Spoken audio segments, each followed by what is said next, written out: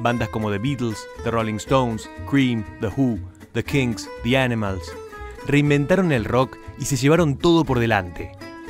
En nuestro país, el rock nacional ya estaba formando su identidad propia y fundantes del rock nacional como Spinetta, Lito Nevia y Charlie García han reconocido explícitamente la influencia decisiva de The Beatles en su obra musical y en el surgimiento de su obra.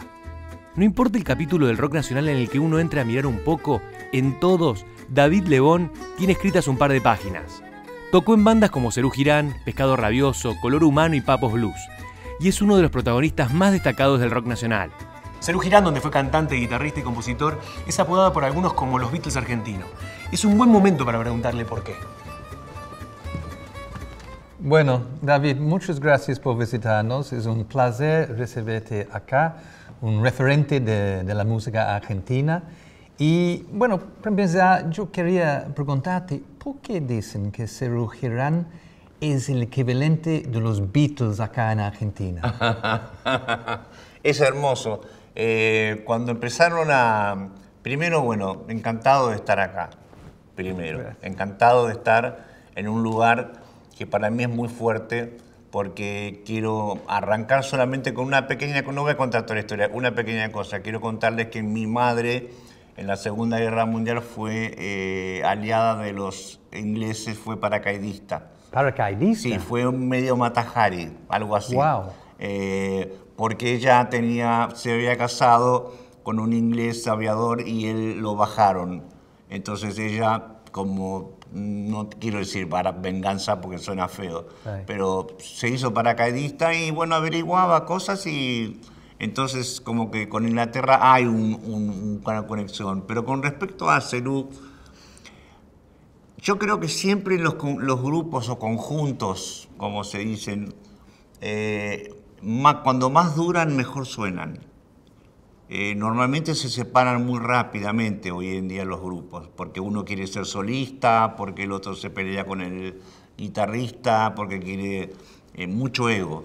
Hay, en, casi todos los lugares hay, no, en un grupito hay, hay ego. Pero sí fuimos, yo sentí que obviamente no podemos comparar menos en la cuenta de banco con los Beatles, eh, eh, pero sí en el sentido del trabajo.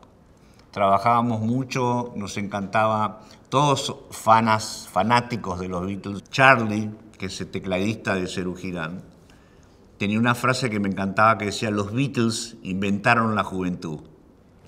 Y yo creo que es muy correcto eso lo que dice porque empezaron a usarse pantalones largos. Yo me acuerdo que yo tenía 17 años y usaba pantalones cortos con unos pelos así y saco, no, era horrible. Y hasta que, bueno, salieron los Beatles y cambió todo, cambió la ropa, cambió todo. Obviamente esto en Estados Unidos me pasó a mí. Eh, a mí me gustaban mucho los Beatles, me gustaban porque eh, si vos escuchás las composiciones mías, te das cuenta que hay canciones que son como para chicos, como Bladio Bladá de los Beatles, o, o canciones eh, profundas, ¿no es cierto? Como hacía Lennon por ahí.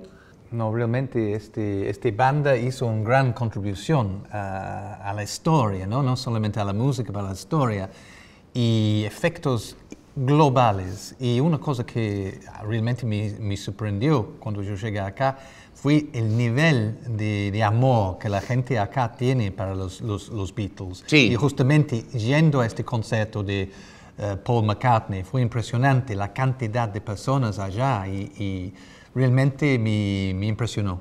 Sí, yo creo que si le quitamos el nombre de los Beatles creo, y, y, y no existiese, yo le hubiera puesto los Beatles a Cerú Girán como nombre.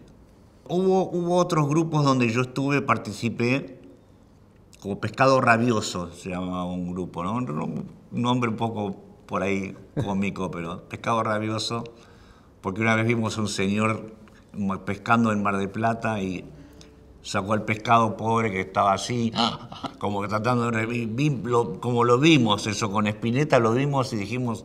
Y Luis le sacó al tipo, lo quería matar, le sacó el, el, el cosito y lo tiró de nuevo al agua Y el señor lo quería matar a, a mi amigo, porque decía, no, pues entonces le pusimos al grupo Pescado Rabioso. ¿no?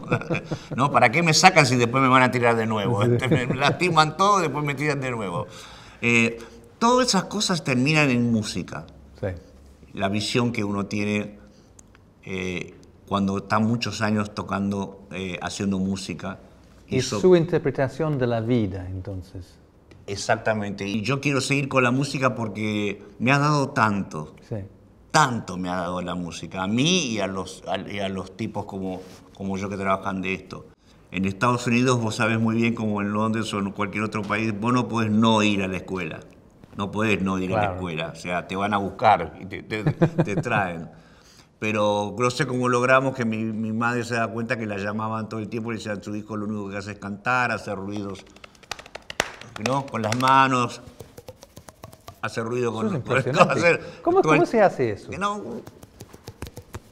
¿Te golpeas? Sí, pero no tengo... Ah, no te sale, practicalo. Después me llamas y pasemos un grupo. Hacemos un grupo argentino-inglés para que se solucionen todos los ex problemas que tuvimos alguna vez.